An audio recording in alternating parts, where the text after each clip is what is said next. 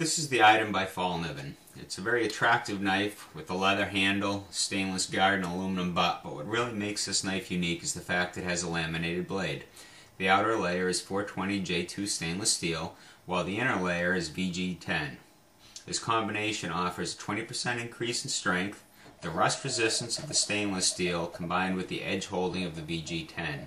Essentially, you get the best of both worlds.